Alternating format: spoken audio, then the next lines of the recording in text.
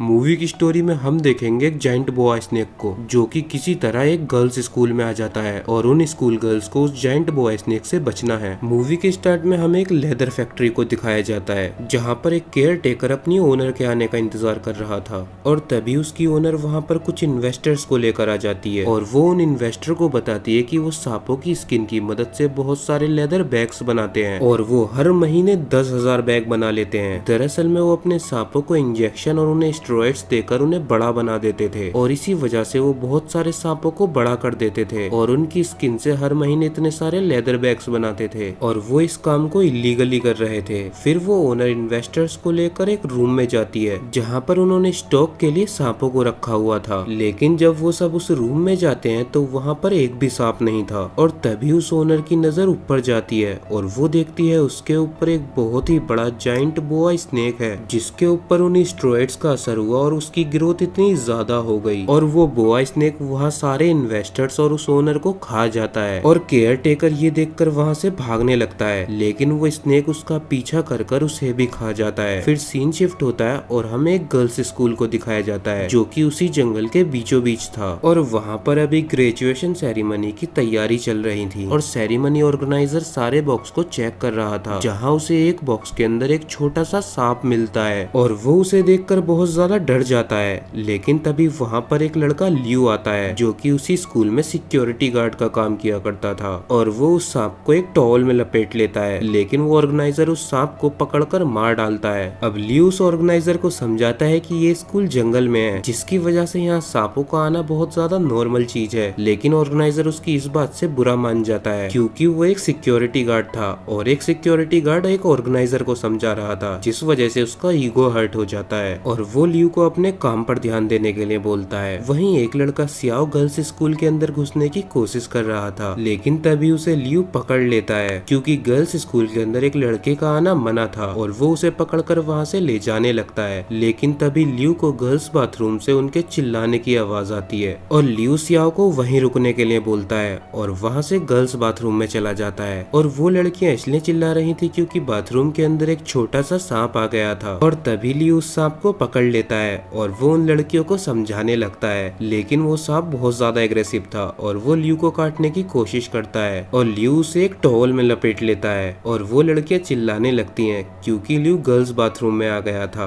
और वो उसे वहाँ से बाहर निकाल देती हैं। अब लियू बाहर आता है और वो देखता है कि वहाँ से सियाओ भाग चुका है और तभी हमें लियू के अंकल को दिखाया जाता है और वो लियू को समझाते हैं कि उन्हें वहाँ अपने काम से काम रखना चाहिए, वरना उन्हें स्कूल से निकाल दिया जाएगा और फिर वो लियू से उस सांप को अपने साथ लेकर चले जाते हैं, ताकि वो उसे जंगल में छोड़ दें। दूसरी साइड वो बोआ स्नेक काफ़ी सारे लोगों को मार डालता है, और अब वो स्कूल के काफ़ी पास आ चुका था। वहीं स्कूल में हमें एक गर्ल्स का ग्रुप दिखाया जाता है, जो कि स्विमिंग पूल में प्रैक्टिस कर रही थी, और तभी वहाँ स्विमिंग पूल में एक लड़की डूबने लगती है, और एक लड़की ली उसे बचाने के लिए जाती है, और वो उसे बचा लेती है। और जब वो पूल से बाहर आती है तो एक लड़की मासू उसे बहुत ज़्यादा डांटने लगती है, क्योंकि वो ली से बहुत ज़्यादा चिड़ा करती थी और ली उससे हर काम में बहुत आगे थी। इसीलिए वो अपनी दोस्तों के साथ मिलकर उसे एक रूम में बंद कर देती है और वहाँ से चली जाती है और तभी ली के पास वहाँ बहुत छोटे छोटे सांप आ जाते हैं और वो उसे काटने ही वाले थे।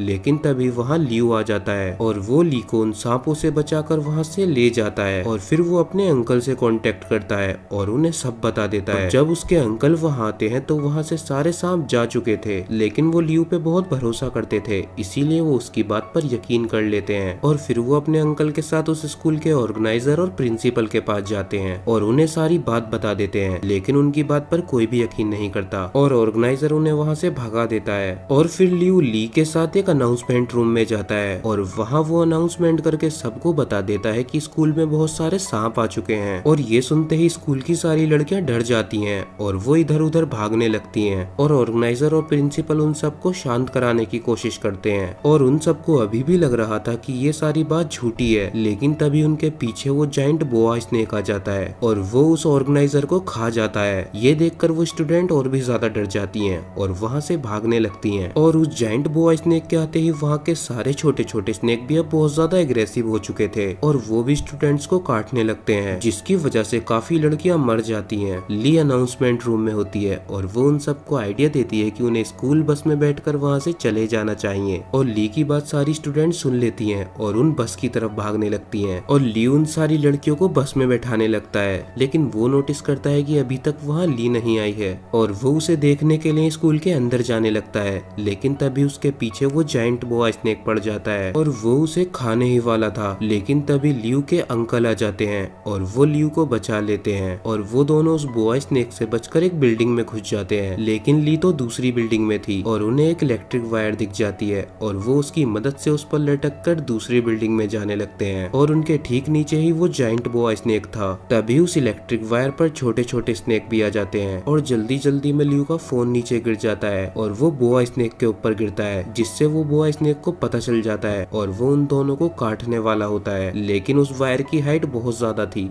जिसकी वजह से वो दोनों बच जाते हैं और वो दूसरी बिल्डिंग में पहुँच जाते हैं, जहाँ उन्हें ली मिल जाती है। और उसके साथ उसकी ग्रुप की कुछ लड़कियाँ भी थी। वहीं एक रूम में हमें मासू को दिखाया जाता है और उसके साथ में सियाओ था, जो कि हमने मूवी के स्टार्ट में देखा था और वो दोनों गर्लफ्रेंड बॉयफ्रेंड थे। और मासू की वजह से ही सियाओ स्कूल में घुस रहा था, लेकिन उन दोनों को सांप के बारे में कुछ भी पता नहीं था और तभी मासू के ऊपर एक छोटा सांप आ जाता है, जिन्हें देखकर वो दोनों डर जाते हैं और वहाँ से भागकर बाहर आ जाते हैं, जहाँ उन दोनों को लियू देख लेता है। और लियू सियाओ पे बहुत गुस्सा होता है, क्योंकि वो समझ जाता है कि सियाओ स्कूल के अंदर किस लिए आया था और उन दोनों में बहस हो जाती है। उसके बाद लियू सारी लड़कियों के लिए कपड़े लेकर आता है, क्योंकि वो स्कूल ड्रेस में बिल्कुल भी कंफर्टेबल नहीं थी। और अगर उन्हें भागने की ज़रूरत पड़ी तो वो उसमें भाग भी नहीं सकती थी। और फिर वो सब अपने कपड़े चेंज कर लेती है। अब सियाओ वहाँ की लड़कियों को बताता है की उसके पास एक कार है। और वो सब उसकी मदद से वहाँ से भाग सकते हैं और लड़कियाँ उसकी बात में आ जाती हैं और वो वहाँ से बाहर जाने लगते हैं और बाहर जाने से उन्हें लियू रोकता है क्योंकि एक कार में इतने लोग नहीं आ सकते थे और साथ ही में वो बोआ स्नेक भी बाहर ही था। लेकिन वो लोग उसकी बात नहीं मानते और वहाँ से बाहर चले जाते हैं और वो बोआ स्नेक वहीं पर था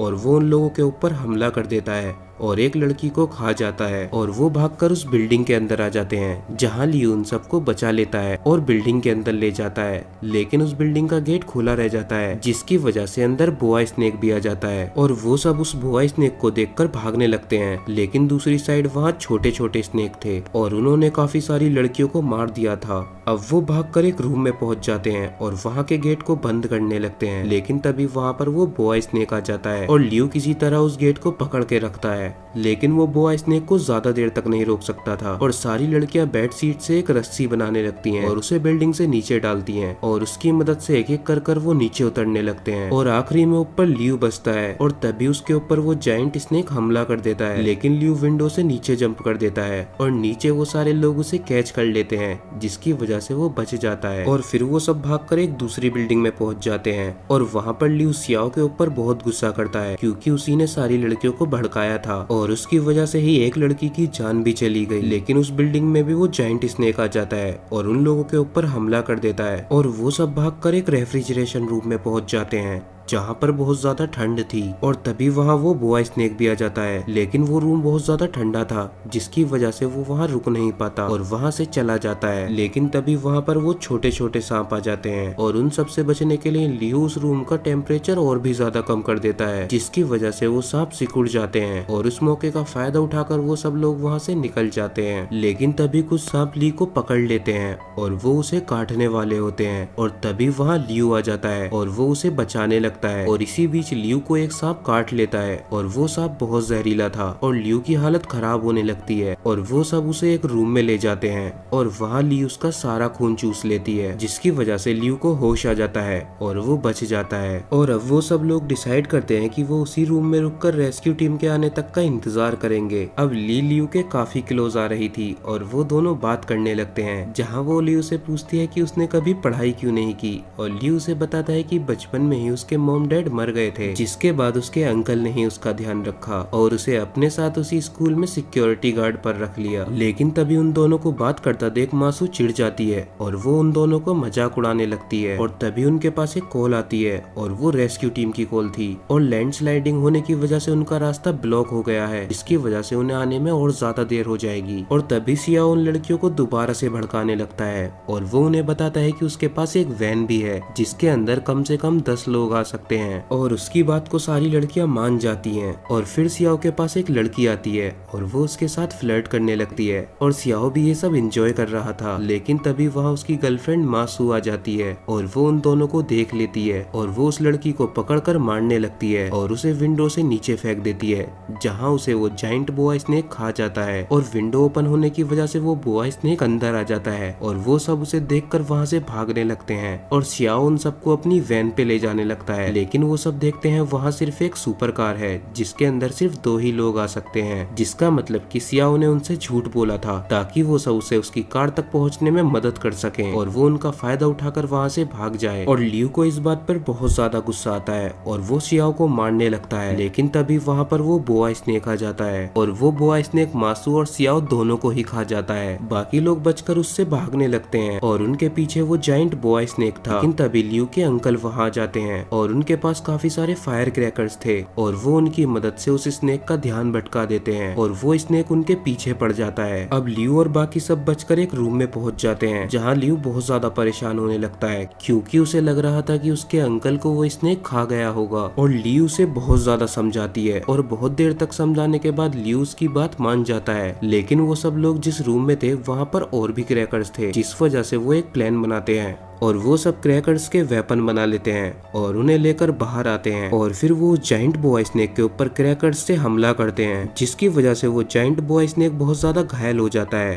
और उन सबको लगता है कि वो मर चुका है। लेकिन तभी वो जाइंट बॉय स्नेक उठकर दो लड़कियों को खा जाता है। वहाँ सेरेमनी स्टेज पर बहुत सारा पेट्रोल रखा हुआ था, जिसे ली उस सांप के ऊपर डाल देता है और वो ली से उसमें आग लगाने के लिए बोलता है। लेकिन उस सांप के सामने लियू भी खड़ा हुआ था और अगर ली उसमें आग लगाती तो लियू भी मर जाता। जाता, इसीलिए ली ये करना नहीं चाहती थी। और उसके बहुत ज़्यादा बोलने की वजह से ली उस सांप में आग लगा देती है। और आग लगने से पहले ही वो सांप लियू को खा जाता है। और अब आग लगने की वजह से वो तड़प तड़प कर मर जाता है। और वो सब अब बहुत उदास हो जाते हैं, क्योंकि लियू भी मर चुका था। लेकिन तभी उस सांप के मुँह से लियू बाहर आता है। और वो बिल्कुल ठीक था, क्योंकि सांप ने उसे पूरी तरह से नहीं निकला था। और सांप के अंदर होने की वजह से वो आग से भी बच गया। और ली उसे भागकर गले लगा लेती है। और तभी लियू के अंकल भी वहाँ जाते हैं, जो कि अभी ज़िंदा थे, और ली उन्हें देखकर बहुत ज़्यादा खुश होता है। अगली सुबह वहाँ रेस्क्यू टीम भी आ जाती है, और वो उन सबको बचा लेती है। और अब ली और लियू भी काफ़ी क्लोज आ गए थे,